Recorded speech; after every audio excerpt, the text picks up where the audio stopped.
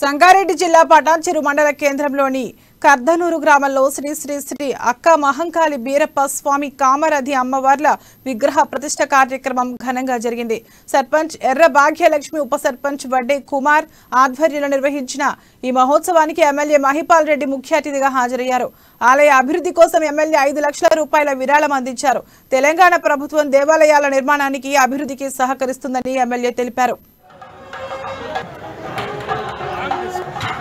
Răng. Đừng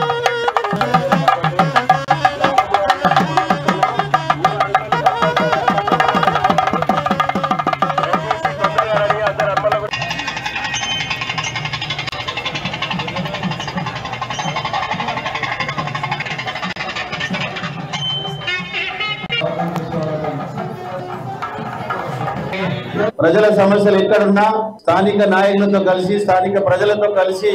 పరిష్కరించే మార్గంలో అందరం కలిసి ముందుకెళ్దామని తెలియజేస్తూ భక్తి శ్రద్ధలతో ఈ గుడి నిర్మాణం చేసి ప్రతి విగ్రహ ప్రతిష్టాపన చేస్తున్న ప్రతి ఒక్కరికి నేను శిరస్సు ఉంచి నమస్కరించుకుంటూ మనము మన ప్రాంతం అంతా సుభిక్షంగా ఉండాలని చెప్పి ఆ స్వామిని కోరుతూ